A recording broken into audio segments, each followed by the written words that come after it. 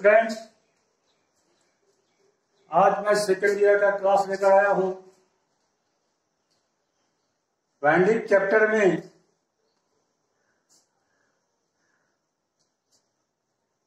आज मैं fundamental terms terms use in AC winding AC winding के कुछ फंडामेंटल नियम हैं जो इस प्रकार है। फ़र्स्ट है, टर्न। चालकों का एक बंद मार्ग। जो दो जो दो ध्रुवों के प्रभाव के अंतर्गत अवस्थित चालकों को जोड़ने से तैयार होता है, उसे वायरिंग एलिमेंट कहते हैं। या को टर्म कहा जाता है। नेक्स्ट है क्वाइल्स। श्री क्रम में संयोजित अनेक चालकों का समूह को क्वाइल कहते हैं। ये जो क्वाइल्स हैं, ये क्वाइल्स हैं। तो इस श्रेणी क्रम में मतलब श्रित क्रम में संयोजित अनेक चालकों का समूह को क्वाल कहते हैं। देखिए, इसमें बहुत सारे चालक है। कंडक्टर्स हैं, एक, दो, तीन, चार, ऐसे करके बहुत से इसमें चालक है इसको क्वाइल कहा जाता है। Active side active side coil का वह भाग जो एक्टिव साइड जिसमें भी एक्टिव साइड होते हैं क्वाइल का वह भाग जो स्टेटर क्रोड के खांचे में अवस्थित रहता है। उसे रहता है और जिसमें विद्युत वाहक बल पैदा होता है, उसे एक्टिव साइड कहते हैं। तो देखें एक्टिव साइड जो इस स्लॉट में, एक साइड इस स्लॉट में, और एक एक दूसरे स्लॉट में। स्लॉट में इसको स्टेटर के स्लॉट में इसको डाल दिया जाता है। तो यहाँ से यहाँ की दूरी को, जैसे आप यहाँ देखें यहाँ से यहाँ की दूरी को एक्टिव साइड कहा जाता है। ये जो है एक्टिव साइड कही जाती है। नेक्स्ट इन एक्टिव साइड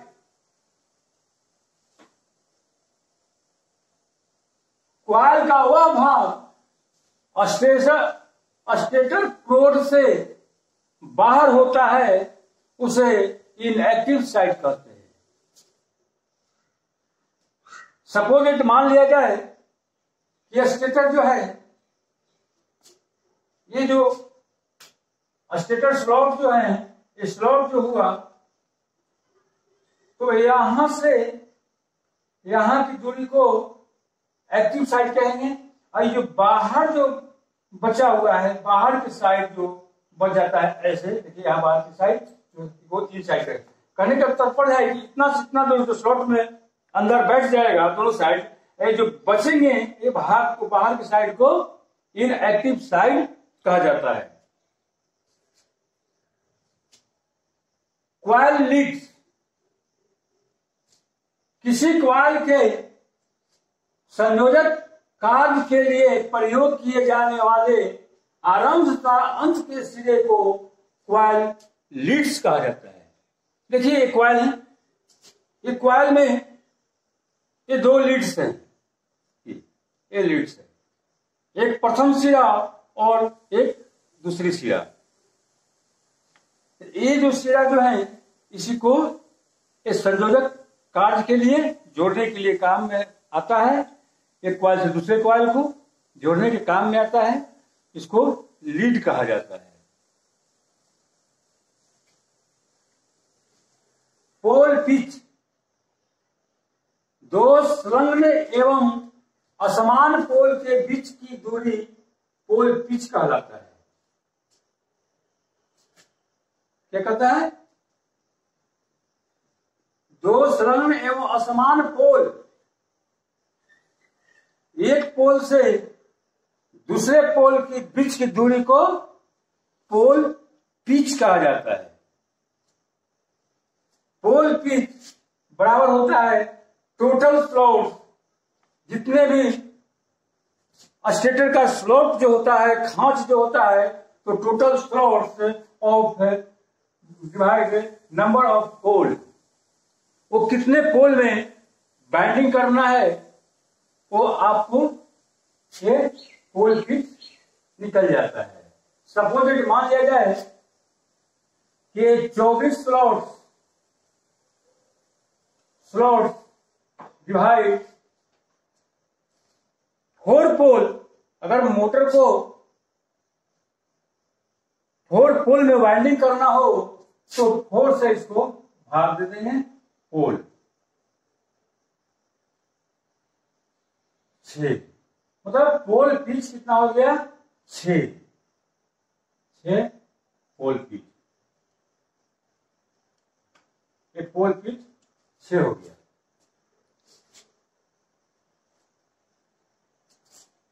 पोल पिच हमेशा हमेशा सम संख्या में नहीं होनी चाहिए। ये और नंबर में होना चाहिए। इसके लिए हम अपने मन से एक बढ़ा देंगे या एक घटा देंगे। अर्थात एक से सेवन या एक से फाइव हम इसको पोल पिच ले सकते हैं। क्वाइल पिच एक क्वाइल की दो एक्टिव साइड। इसे एक क्वाइल की दो एक्टिव साइड जो एक्टिव साइड जो है, यहाँ से यहाँ की दूरी। जो असमान ध्रुवों के अंतर्गत हो, उसके बीच की दूरी को क्वाइल पिच कहा जाता है। ये बैठाने की जगह को उसको क्वाइल पिच कहा जाता है। यहाँ से यहाँ की दूरी जहाँ पर उसको पिच मतलब वो दूरी को पिच कहा जाता है। क्वाइल ग्रुप यदि मशीन वाइंडिंग में एक से अधिक क्वाइल को श्रृंख क्रम में जोड़ दिया जाए तो क्वाइल ग्रुप कहते हैं। जैसे, देखिए, इसमें दो क्वाइल्स हैं। इसमें दो क्वाइल ये आपस में ये सीरीज़ में जुड़ा हुआ है। एक क्वाइल आपस में सीरीज़ में जुड़ा हुआ है। सीरीज़ में जोड़ने के लिए top to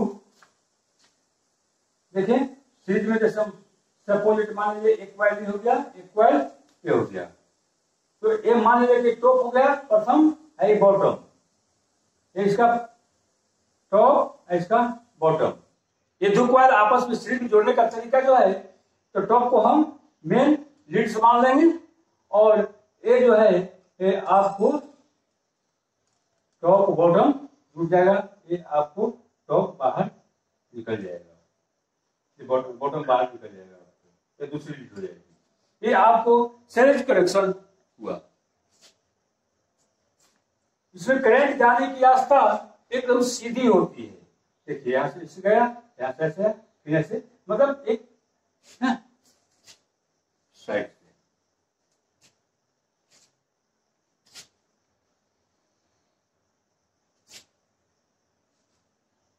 coil pitch coil pitch एक क्वाइल की क्वाइल पिच कहता है? अच्छा। क्वाइल ग्रुप यदि मशीन वाइंडिंग में एक से अधिक क्वाइल को श्रित क्रम में जोड़ दिया जाए तो क्वाइल ग्रुप कहते हैं। कुल क्वाइल ग्रुप बराबर होता है फ़ेज़ की संख्या, अर्थात फ़ेज़ की संख्या गुने पोल की संख्या। मोटर कितने फ़ेज़ की है? मान लीजिए कि थ्री फ़ेज़ का जब मोटर जो है थ्री फ़ेज़ सप्लाई से वह उसको संयोजित किया जाता है तो उसको क्वाइल ग्रुप निकालने के लिए फेजे की संख्या गुने पोल की संख्या कितने पोल में बाइंडिंग करना है? सपोज़ इट मान लिया जाए कि, फ़ेज़ थ्री है अपोज चार है तो चार तिया बारह यानी एक फ़ेज़ में क्वाइलों की संख्या बारह होगी। चार तिया बारह क्वाइल्स होगी। प्रति फ़ेज़ क्वाइल ग्रुप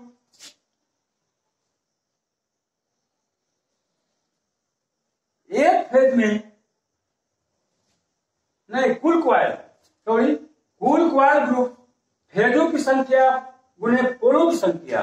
माने ये मोटर में, वो स्टेटर में जितने क्वाइल जो है, माने कुल क्वाइल कितना लगेगा तो वो जितना फ़ेज़ रहेगा, उतना पोल में तो गुना कर देने से टोटल क्वाइल्स निकल जाएँगे।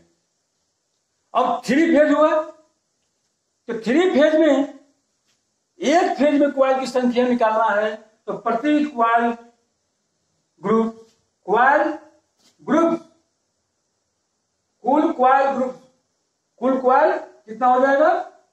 जो आपका कुल क्वाइल ग्रुप निकल जाएगा, अब फ़ेज़ की संख्या और फ़ेज़ से उसको हम डिवाइड कर देंगे।